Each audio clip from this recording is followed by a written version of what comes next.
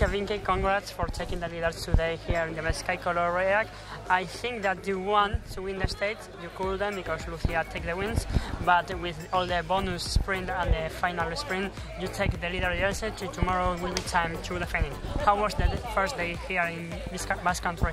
Uh, well, it was a hard day because uh, one of the French girls uh, was in the breakaway, and uh, first my teammate uh, was with her, but she couldn't uh, couldn't follow, so I had to close the gap by my own because the girls in my group weren't working with each other. So I was just like going all out, and then we are we closed the gap, and yeah still nobody uh, want to uh, uh, ride. So yeah, I uh, just I thought I'm going to help my teammate for the sprint. So I was like riding uh, uh, good pace. So yeah, I was like the last corner. I thought I'm just going because yeah, my teammate was on my wheel and I thought like she can go for the sprint, but then I just was the second. So yeah, I had more uh, extra seconds. So yeah, I'm really happy to take uh,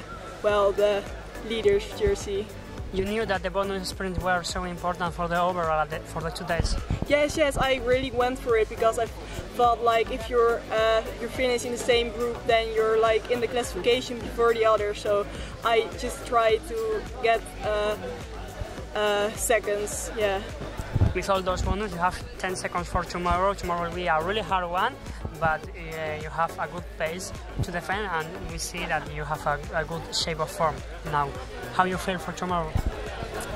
Uh, yeah, I think yeah, I'm going to rest well and then I will see tomorrow because the climbs are uh, really hard and I think the French girls are, are uh, really good in uh, the uphill so I think it uh, is uh, bit difficult to follow but uh, I'm going to uh, do everything I can.